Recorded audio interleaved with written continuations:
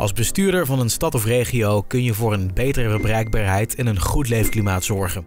In plaats van een unimodale oplossing wordt met behulp van het multimodaal netwerkkader gekozen voor een multimodale oplossing. De groeiende mobiliteitsvraag en verstedelijking kunnen de bereikbaarheid voor alle modaliteiten en het leefklimaat onder druk zetten. Zo ook op dit kruispunt in de fictieve stad Noordstad. Hier moeten fietsers lang wachten om de oversteek te maken op hun route naar de universiteit. Door de drukte komt de verkeersveiligheid in het gedrang. HOV-bussen maken ook gebruik van dit kruispunt op de route van het station naar de universiteit. Ook zij ondervinden hier vertraging. En dan zijn er nog de auto's die het kruispunt gebruiken in hun route van huis naar de ringweg. Het kruispunt is overbelast. Elke seconde die wordt weggegeven aan een modaliteit gaat ten koste van een andere modaliteit. Daarom moeten er keuzes worden gemaakt.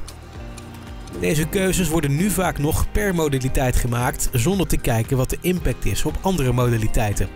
Een kader waarin naar multimodale oplossingen wordt gezocht ontbreekt vaak nog. Een multimodaal netwerkkader kan dan uitkomst bieden. Beleidsadviseurs van verschillende modaliteiten en wegbeheerders werken dan samen om de kaders te bepalen waarbinnen het verkeer geregeld wordt.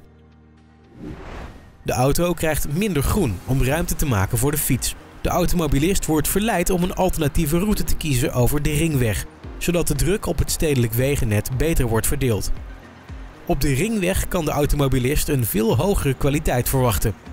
De routes worden gedeeld met service providers, zodat deze informatie ook kan worden opgenomen in de routeplanners.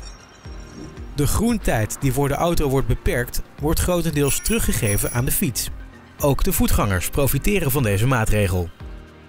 Om de fietsdoorstroming te bevorderen wordt een verkeersmanagementmaatregel ontworpen. Door op afstand van het kruispunt pelotons fietsers te herkennen, kan er bij aankomst op het kruispunt voor versneld groen worden gezorgd. Het HOV moet op dit kruispunt iets langer wachten, maar we zorgen ervoor dat hij op de volgende kruispunten reistijdwinst kan behalen. We accepteren een lokale vertraging zolang de dienstregeling over de hele lijn kan worden behaald. Dit is een voorbeeld van een toepassing van het multimodaal netwerkkader.